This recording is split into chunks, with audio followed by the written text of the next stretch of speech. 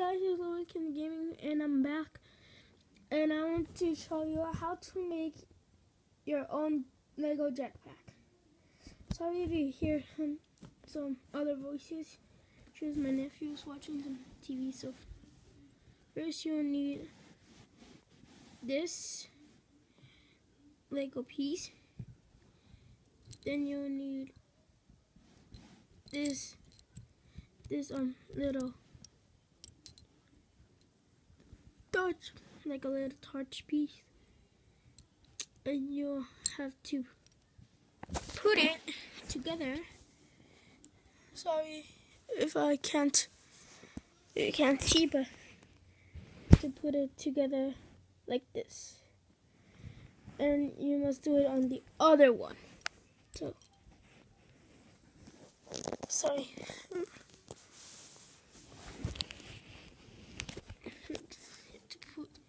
Two of these. Then you'll you'll need this. This little chest plate piece from Lego Chima.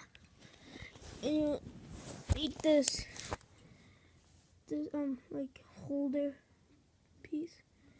And put and put and you'll need two of them. It can be any color. I I'll just use green gray and let me just put it. Sorry, I, I'm taking too slow. Like this. Like this. Then you will need to, um, you will need three of these, just in case. Uh, that piece will be just like for fun, but then you'll have to connect these, this piece, on like this both of them. Can be any angle like this. Like this. And you'll need the black piece. It can be like this piece.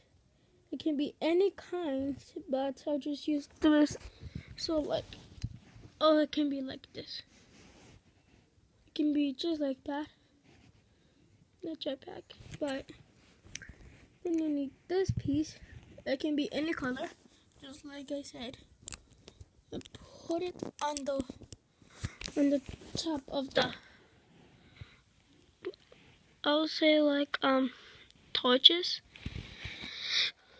And yeah, that's how you do the jetpack. This is just like a put like a weapon holder so you can like put your minifigures weapon here. And just in case you don't know, it's for this minifigure I made by myself. I'll show you how you look like. Sorry. Sorry if you cannot see.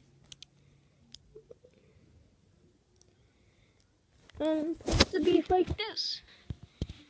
And that's how you make your own Lego jetpack. See you guys next time. Goodbye.